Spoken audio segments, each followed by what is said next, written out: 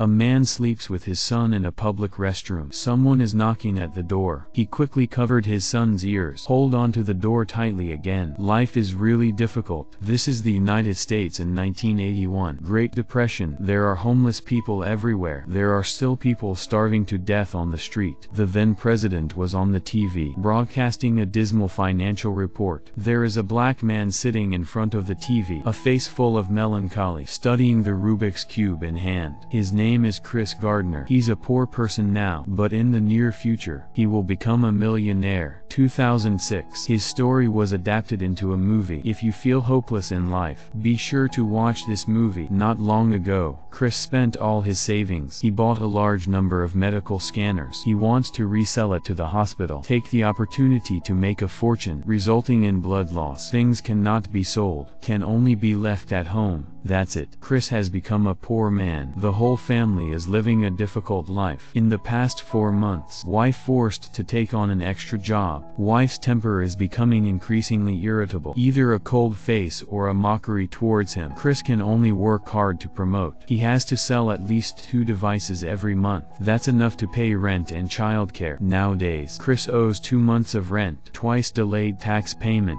The car was also towed away. There is still a pile of tickets waiting to be paid. And these difficult days, it's just the beginning of his low point in life. This day, Chris is walking on the street. A red Ferrari parked next to me. Looking at the people in the car, Chris asked him two questions. The man smiled and said, I am a stockbroker. You don't need a degree to do this job, as long as you understand numbers and can communicate. That's all. This statement touched Chris. He looked at the entrance of the securities company. People of all kinds. Chris feels that they are very happy. Chris also wants this kind of happiness. The next day, Chris and his wife said, he's going to a securities company for an interview. Chris's wife is in despair. Last time Chris had a whim. Chris bought a bunch of useless medical equipment. Now he's slapping his head again. To become a stockbroker, his wife asked him to quickly sell that pile of junk. But Chris has made up his mind. He must become a stock manager. Chris applied for an internship. No education,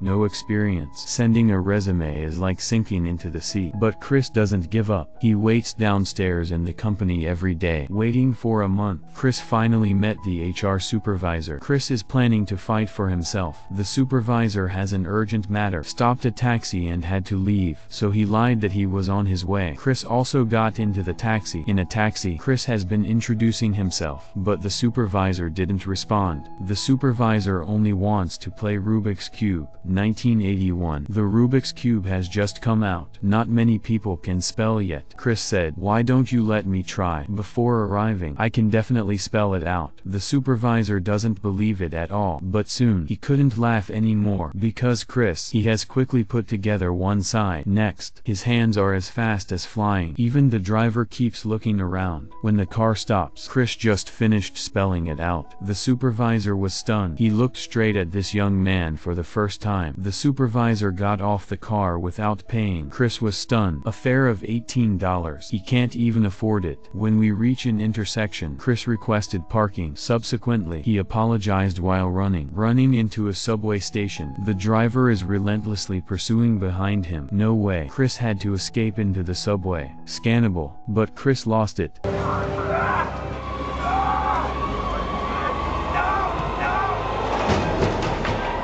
One month's living expenses are gone. Chris finally couldn't hold his tension anymore. Roared loudly in the subway. That night, Chris received a call from his wife. She's leaving with the child. Sweat, rain, tears falling off Chris's face together. He doesn't understand. Why is he working so hard? Happiness never knocks on its own door. Wait for Chris to come home. The room is already empty. Wife's gone. The wife also took away her son. Fortunately, the HR supervisor called. Notify him to come for the interview the morning after tomorrow. The next day, Chris secretly picked up the child. When cooking, there was a knock on the door. Is it happiness? No. It's the landlord. Chris dragged on the rent for too long. The landlord landlord asked him to pack up and leave. Chris begged the landlord to extend another week's grace. The landlord agreed. The premise is to help him paint the wall. Chris is painting the wall. Suddenly, there was another knock on the door. Is this happiness? No. It's a police officer. Chris delayed the ticket for too long. If Chris doesn't pay the fine again, he will have to be imprisoned. Chris has no choice. He had to take out his only savings, pay the fine, but the check won't be able to go to the bank for verification until tomorrow morning. Before tomorrow, he can't even leave. Chris pleaded for mercy, but the police don't accept any of his reasons. Helplessness. He had to call his ex-wife, solve the child's settling problem. But even more difficult is tomorrow morning's interview. What should Chris do? Chris stayed overnight in the detention center. Early the next morning, just released. It's time for the interview. No time to take a shower and change clothes. Chris rushed towards the company. At the entrance, everyone around is dressed in suits and shoes. Only he was covered in paint. Out of place. The interviewer looked at his outfit, very surprised. Chris is open and honest. He said he was detained last night because I didn't pay the ticket. The HR supervisor smiled, but the boss is a bit unhappy. He asked Chris many questions. Chris replied generously. The last ultimate challenge. If someone come to the interview without even wearing a shirt, I even recruited him. What would you think?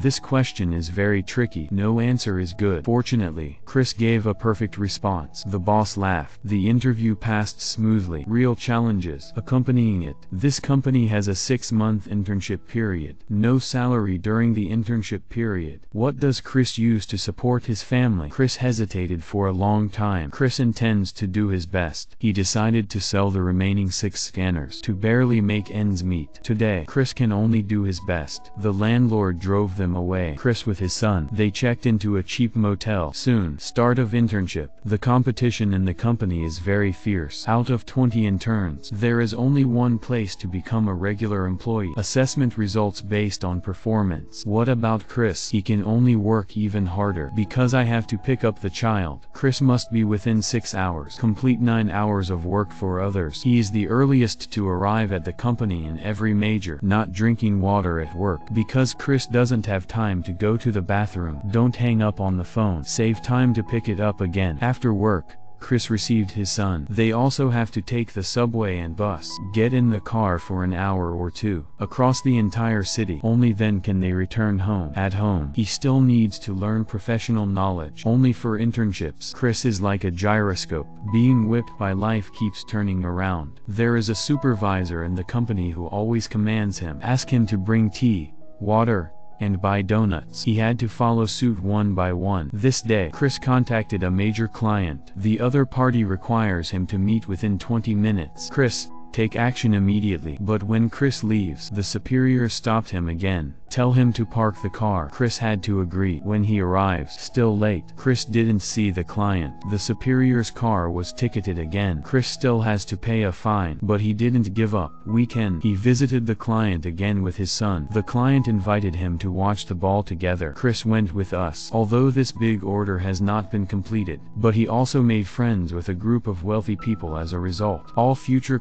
customer resources. Four months passed in a flash. Chris sold all the scanners. Life seems to be improving. However, bad news is coming again. The tax bureau took all his savings. Chris is bankrupt. There's only $21 left in the account. He took his son to the park to relax. Encountered a homeless man with a scanner in hand. This is the one he lost on the subway. Joy descended from heaven. He quickly grabbed the equipment. Chris is planning to sell it for survival. Unfortunately, the scanner is broken cannot be sold that night. Because Chris doesn't have the money to pay the rent he was kicked out by the boss. Chris now becoming a homeless wanderer he brought his son to the subway station to comfort him. Playing games with my son. Chris looks good says there's a dinosaur chasing after him to hide in a cave. He took his son with him entered the public restroom spread a layer of toilet paper under your body. This is the bed where father and son slept tonight. Someone is knocking on the door outside outside. He can only cover his son's ears. Chris stretched out his leg and pressed against the door. Life is too difficult. Chris couldn't help but burst into tears. The next day, he took his son to the shelter. On the street, the homeless man formed a long queue. When it's almost Chris's turn, the person in charge said it's almost full inside. Only four more can be charged. At this moment, someone wants to take Chris's position. Chris got into a fight with him. Fortunately, an old man identified a homeless man as violating following the rules. Chris has been admitted to the shelter. He coaxed his son into bed. Chris is repairing the scanner in the hallway. Daytime, he worked tirelessly. Night, Chris took his son to grab a bed. When crossing the road, Chris's son's toy fell on the road. Chris is anxious. There's no time to consider it at all. On the bus, his son couldn't help but cry. I don't know how long these days have passed. Soon, Chris is so poor he can't afford to eat. He ordered a small pizza for his son. Chris is hungry. Finally, he can